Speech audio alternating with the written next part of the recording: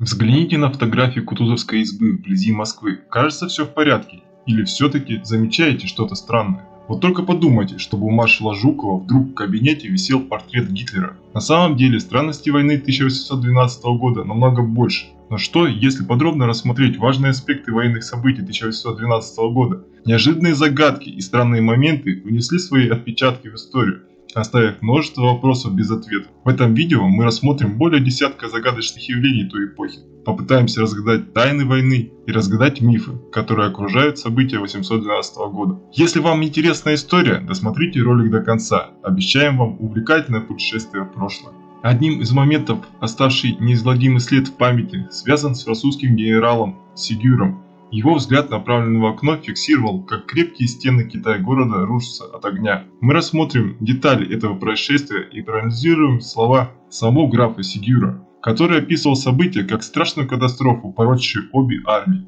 Однако не все так просто, и в истории есть темные стороны, которые мы рассмотрим далее в этом видео. Еще одним важным аспектом станет обсуждение роли генерала-губернатора Москвы Ростопчина в событиях того времени. Миф о его причастности к поджогу Москвы рассеется, когда мы рассмотрим его реальные цели и мотивации в сохранении города. Ростопчин сможет рассказать свою версию событий в виде сочинения «Правды о пожаре Москвы», где он предоставит убедительные аргументы в свою защиту.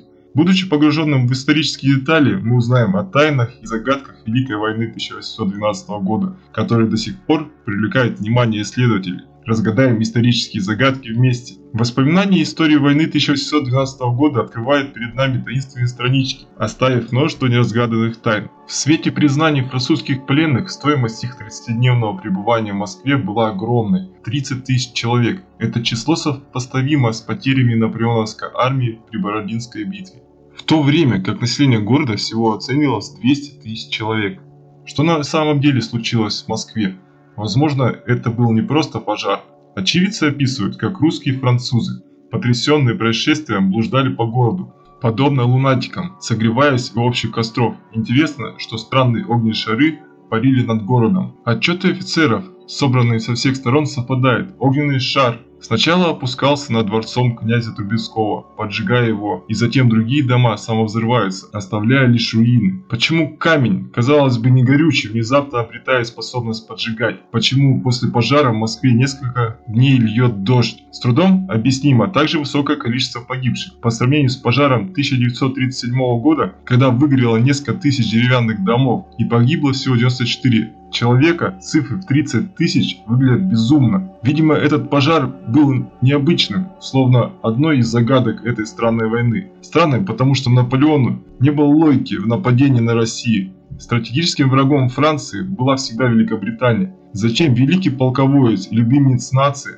ввязался в этот загадочный конфликт? Предлагаем вместе исследовать тайны загадки Великой войны 1812 года, где огонь лунатизм и огненные шары играют свою загадочную роль. Историки остаются в недоумении, пытаясь разгадать тайны Наполеоновской войны. Вопросы множатся. Почему опытный полководец, покоривший Европу, направляется к Москве, игнорируя ближайший и менее защищенный город Санкт-Петербург? Каким образом Бонапарт ожидал встретиться с московскими боярами на Поклонной горе, когда они, согласно истории, уже вышли из обихода? Почему исследователи придерживаются мифа о деревянной Москве, несмотря на указ Петра I и последующие запреты на деревянные строения, особенно в центре города? Странности продолжаются. Во время войны 812 года произошло 67 крестьянских восстаний в 32 губерниях, подавляемых армией Романовых. Это вызывает вопрос о реальной динамике внутренних конфликтов того времени. Но это лишь начало. Множество информации о войне основано на письменных источниках, которые могут быть подвергнуты сомнению. Но существуют более надежные материальные свидетельства, такие как памятники. Здесь начинается что-то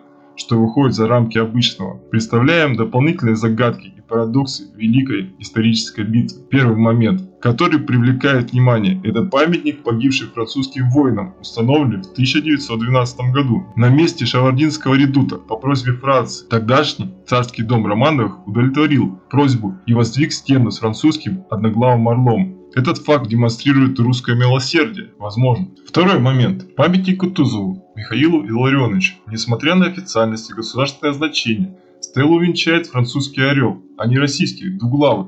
Схожий памятник с французским орлом стоит в белорусском городе Кабрини. Третий момент. Представлен монументом в деревне Тарутино, установлен на месте гибели Барклая де Толли. Несмотря на наличие двуглавого орла в гербе де Толли, памятник украшает одноглавый французский орел. Четвертый момент. Вызывает удивление. Памятный знак у переправы французов через реку Студенки. На нем изображен два императора – Александр и Наполеон.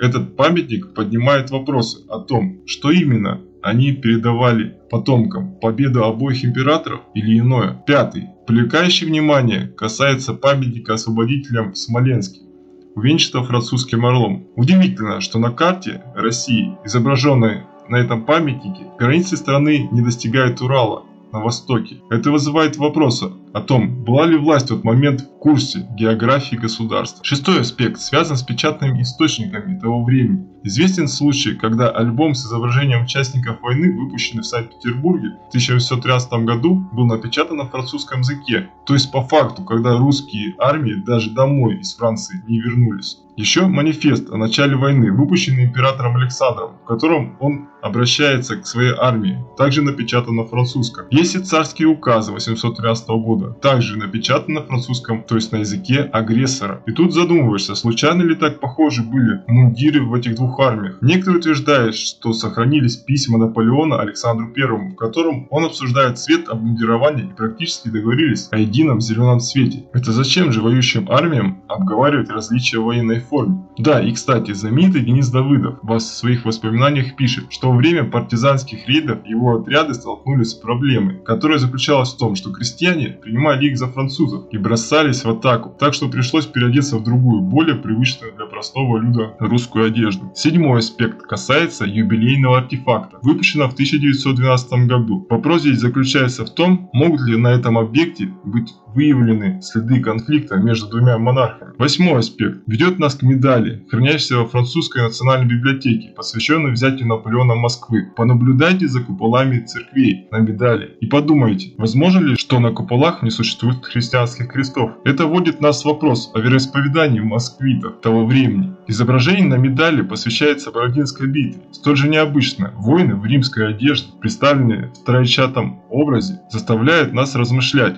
о возможной участии третьей стороны в этой войне. Девятый аспект обращает внимание на памятный кубок, посвященный столетию войны. Здесь мы обнаруживаем что-то странное. На выставке в Санкт-Петербурге в 1912 году представлены портреты императора Александра и Наполеона. Кубки с их изображением в духе, посвященным Наполеону и множество других предметов, где отмечены героические моменты французской армии в России в 1812 году. Возникает вопрос, почему был сделан столь необычный акцент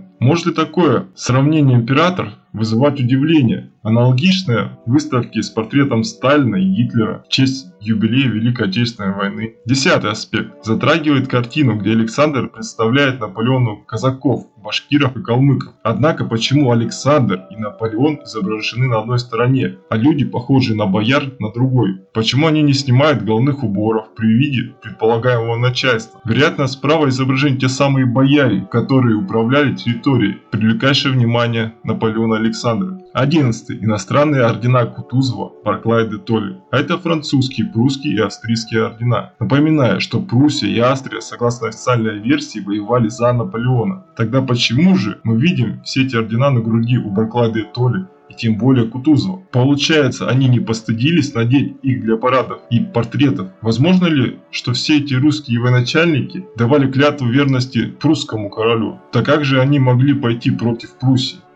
12. Если Александр и Наполеон воевали на одной стороне, то против кого они воевали? Что за изображение бородатых воинов с изогнутыми саблями, копьями и луками? Воины с копьями, луками и стрелами в 19 веке?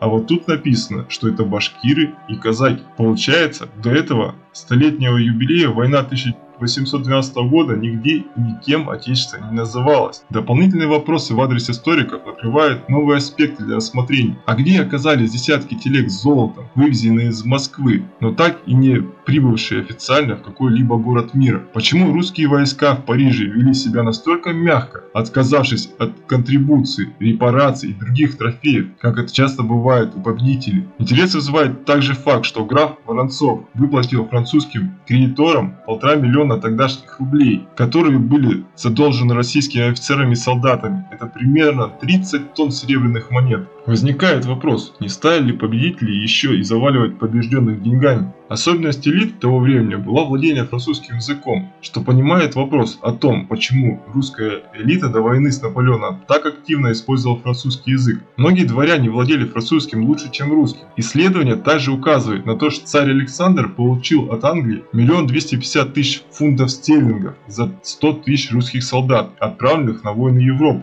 с 1805 года. Этот факт поднимает вопрос, о том, с кем и против кого воевала Россия на территории в течение этой войны. Интересно отметить, что на картах, выпущенных до 1812 года, можно увидеть государство под названием Тартария, включая такую область, как Московская Тартария. После войны эта территория, казалось бы, исчезает из карт. Возможно, объяснение этому заключается в том, что до войны в Евразии существовало огромное государство Тартария, объединившее множество территорий и народов. В начале 17 века династия Романовых ориентировалась на запад, приходит к власти, но в середине 18 века она прерывается из-за отсутствия наследников. По династийному сговору к власти приходит дом Гольштейн Готторпов, связанный родством с монархией Дома Европы. Эти монархи стремятся установить контроль на территории Тартарии, но для этого им нужна военная сила. Формирование армии вторжения, которую возглавлял Наполеон, может быть интерпретировано как попытка Романовых укрепить свой контроль и принудить Тартарию отступить от своих земель. Захват Москвы, возможно, являлся частью этой стратегии. Это, в свою очередь, может быть связано с массовым народным восстанием, включая Пугачевский бунт, как проявление скрытой войны за власть и территории. Но это уже немножко другая история. И вот такое вот вышло видео. Благодарю вас за просмотр. Буду рад, если ты поддержишь меня и этот ролик, поделишься им с друзьями. Ведь это позволит большинству людей осознать реальность происходящего. Подписывайся на канал, ставь палец вверх. Еще раз спасибо и до новых встреч.